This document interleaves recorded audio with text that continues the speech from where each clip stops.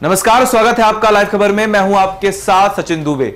बरेली में ग्राम प्रधान की दबंगई का मामला सामने आया है, जिसके चलते ही ग्राम प्रधान ने एक दलित मजदूर के साथ जमकर मारपीट की। दबंग प्रधान का जब इतने पर भी मन नहीं भरा तो उसने मजदूर को गन्ने की कोलू से बाँध दिया और जूते में भरकर उसे पेशाब पिलाई। मामले में पीड़ित सुरेश ने बताया कि उसने गाँव के ही ग्राम प्रधान रामदीन गंगवार से विगत दिनों में तीन हज़ार रुपए उधार लिए थे, जिसे पीड़ित चुका नहीं सका। जिसके चलते ही प्रधान आए दिन पैसों की मांग करते हुए उसे सताने लगा और अब उसके साथ मारपीट की, जिसकी शिकायत उसने पुलिस से की, जिसमें पुलिस ने अभी तक कोई कार्रवाई नहीं की है। वही मामले में क्षेत्र अधिकारी ने बताया कि मामले में थाना फतेहगंज पुलिस को जाँच करके आरोपी प्रधान के खिलाफ मुकदमा दर्ज करके गिरफ्तारी करने के लिए आदेश दे दिए गए हैं। इसमें पेपर के माध्यम से मुझे भी जानकारी प्राप्त हुई है और इस संबंध में मैंने संबंधित एसएचओ से बात की है। और उनसे कहा कि इसको जाँच करके जो है इसके संबंध में जाँच करिए जाँच करके गंभीरतापूर्वक लेकर के। और जो भी है मुझे इसको जो है आज शाम तक या कल तक इसकी रिपोर्ट चाहिए कि सत्यता क्या है। तो इसमें भी जाँच चल रही है। अभी इसे जब तक जाँच ना हो जाए तब तक इसके बारे में कुछ भी कहना उचित नहीं पीड़ित का आरोप है कि उसके साथ मारपीट हुई पेशाब पिलाई की क्या मामला है ये तो अभी जाँच के बाद ही बता पाऊँगा जाँच सौंप दी गई है। इंस्पेक्टर जाँच कर रहे हैं।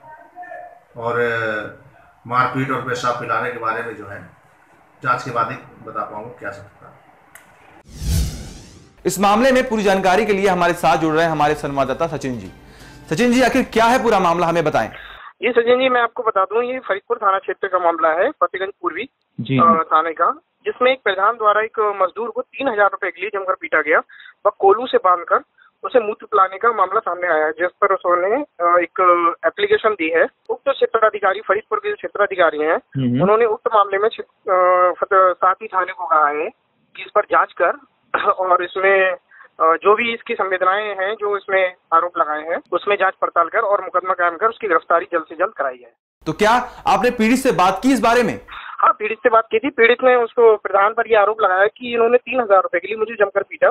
वह पीटने के साथ साथ मुझे जो कोलू होता है जिससे गन्ने का रस निकालने वाला उससे बाँध कर मुझे मारा वह मूत्र पिलाने की घटना का वो आरोप लगाता दिखाई दे रहा है प्रधान पीड़ित पीड़ित के अनुसार उसने पुलिस में शिकायत की है लेकिन पुलिस कोई कार्रवाई नहीं कर रही है। आप इस बारे में क्या कहेंगे? जी पीड़ित का ये कहना है कि उसने पुलिस में शिकायत की लेकिन पुलिस उस पर कोई कार्रवाई नहीं करती। इस पर वो जो है उक्त क्षेत्र अधिकारी फरीदपुर से मिला जाकर अच्छा। तो फिर क्षेत्र अधिकारी ने उसको पूरी साधना दी।